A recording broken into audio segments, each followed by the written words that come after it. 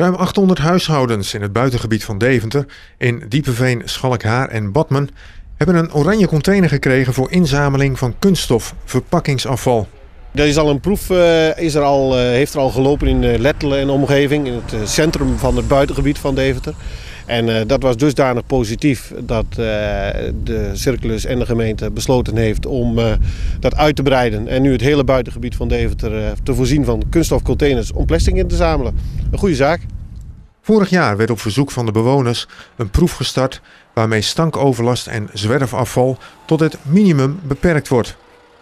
Nou, de, uit de proef, ik denk dat we voor de proef al moeten constateren dat er heel veel onvrede was bij mensen in het buitengebied met name. Omdat er maar één keer per maand de plastic uh, zakken opgehaald werden die vaak vervuild waren. En uh, ja, soms ook kapot getrokken werden door honden of katten of andere uh, mensen, soms ook schooljeugd.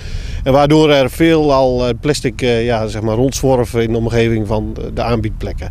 Daardoor ontstond toch wat onvrede en hebben we als gemeentebelang ook gemeend om ja, tijdens de voorjaarsnota een voorstel in te dienen om met kunststofbakken het plastic te verzamelen. Nou, daar is ook gevolg aan gegeven en uh, er zijn informatieavonden door Circulus uh, georganiseerd en een communicatieprogramma om met elkaar te kijken hoe kunnen we dat het beste doen. En daar is tot resultaat gekomen dat nu dus het hele buitengebied van Deventer een container heeft om de kunststof aan te bieden en daarmee ook ja, gezamenlijk te verzamelen en daardoor ook efficiënter nog het kunststof te kunnen verzamelen. De bewoners gaan door de oranje containers nog zorgvuldiger om met het milieu en gescheiden afval. Ook vinden zij een container makkelijker dan een plastic zak. Als je ziet uh, wat er allemaal hergebruikt kan worden, dan uh, is dat zeker goed voor het milieu. En uh, ja, daar sta ik helemaal achter. Ja, zeker. En zamelde u voorheen plastic in, in die zakken? Ja, dat deed ik inderdaad. En ik stond er eigenlijk versteld van als je zag hoeveel plastic als je eigenlijk nog in een maand zo bij elkaar verzamelde. Um, dan merk je toch dat er eigenlijk heel veel verpakkingen allemaal, overal zit wel plastic aan. je doet toch wat uh, sneller de zak kapot, dan uh, zet je het aan de weg en uh, dan heb je wel eens dat je ergens plastic rond ziet dwarrelen. Nou, met zo'n container gaat het gewoon veel makkelijker en je zet hem naast de buitendeur en je gooit zo alle plastic erin.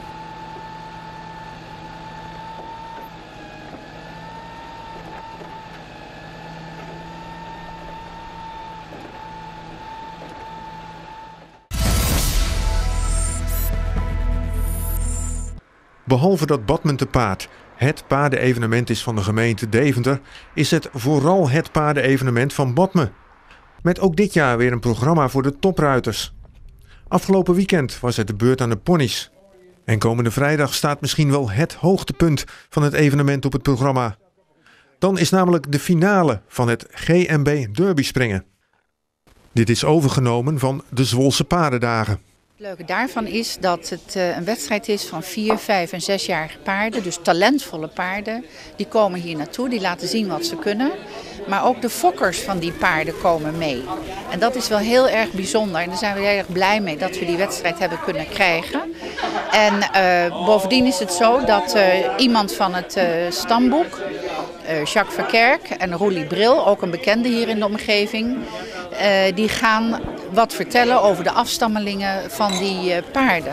Dus wat vrij uh, veel gedaan wordt in de paardensport, en dat is niet zo heel erg bekend in zijn algemeenheid, dat de paarden gefokt worden. En dat zijn niet alleen de hele bekende fokkers natuurlijk, maar dat wordt hier in de omgeving wordt het ook heel erg veel gedaan. Badmen te paard zou niet kunnen bestaan zonder vrijwilligers. Mede door de inzet van zo'n 80 vrijwilligers wordt het evenement zeven dagen lang draaiende gehouden. Wij, uh, wij zitten eigenlijk een beetje op de achtergrond. Wij doen heel veel, maar... En eigenlijk misschien wel heel weinig, weet ik niet. Maar wij doen het gewoon uh, voor ons plezier. En wij doen de derby, wij, doen de, wij zijn van de hinderniscommissie. Wij, wij regelen dat allemaal. Wij zitten, ieder jaar zitten wij weer op een gegeven moment van... Nou, dit moet veranderd worden, dat moet veranderd worden. En dat gaat ieder jaar beter het is vooral voorbereiding op de wedstrijd, dat alle spullen aanwezig zijn die, uh, die hier in het parcours nodig zijn. Dat, je, dat alles klaarzet. Er zijn een aantal sponsoren die uh, hindernissen hier neerzetten. Nou, die worden dan in het parcours gezet, zodat iedereen kan zien wie de sponsort. Voor het evenement is het belangrijk dat er mensen blijven helpen. Al merken Laurens en Joop dat het moeilijker wordt om vrijwilligers te vinden. Ja, we, daar hebben wij ook wel problemen mee, want het wordt wel ieder jaar minder.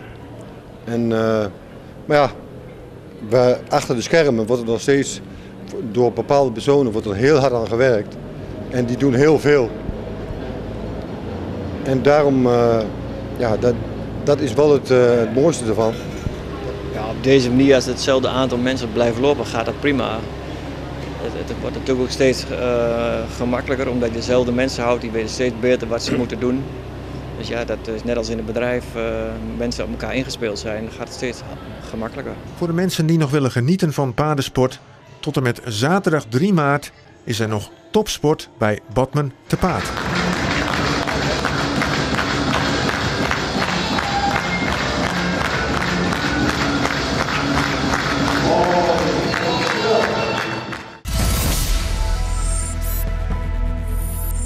Rooms-Katholieke basisschool Advaita, basisschool Lebwinus en de Windroos zitten zonder bestuur.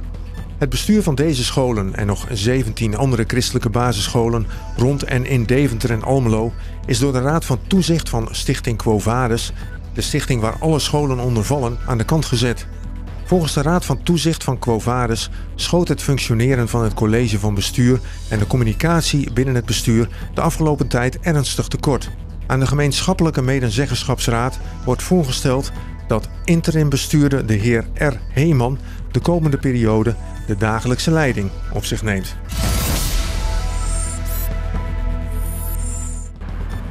Het horenwerk, een nieuwe historie. Zo zou je het onderhand wel kunnen noemen. Het terrein ligt al meer dan zes jaar braak. Alleen het Ravelijn werd tussentijds gebouwd. Dit was fase 1. Voor de rest gebeurde en gebeurt er niets.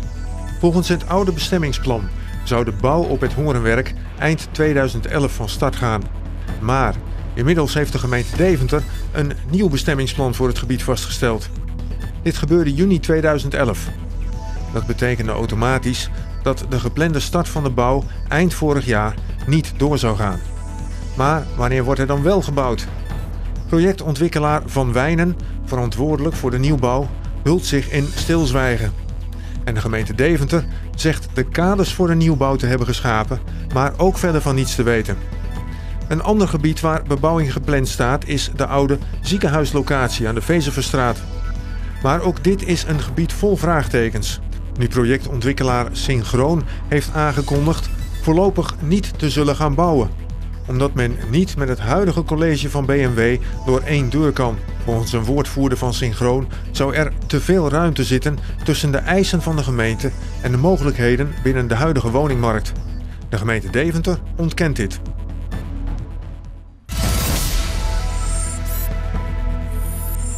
Kunstijsbaan de Scheg. De plek om te gaan schaatsen.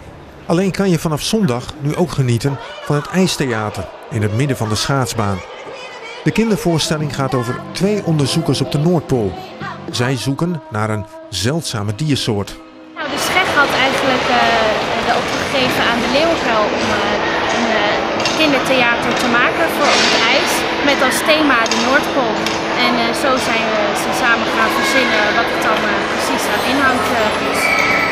Het publiek is altijd erg enthousiast en doet ook graag mee met de voorstelling.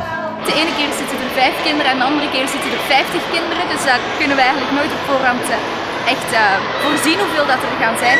Maar ja, het is heel leuk en er zijn altijd wel kinderen in ieder geval en lekker veel publiek en iedereen is enthousiast en doet lekker mee en danst mee en zingt mee. Dus ja, dat is alleen maar fijn natuurlijk. Veel kinderen zijn onder de indruk van het grote decor dat gemaakt is door Hilbert Schalkens. Het decor bestaat uit veel knopjes en lampjes waar de kinderen ook allemaal aan mogen zitten. Michela Leij. Zij uh, is de bedenker van het stuk.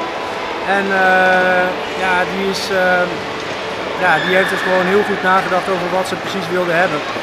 En eigenlijk kwamen we elkaar heel toevallig tegen en hebben we eigenlijk samen bedacht hoe we dit dan vorm konden geven.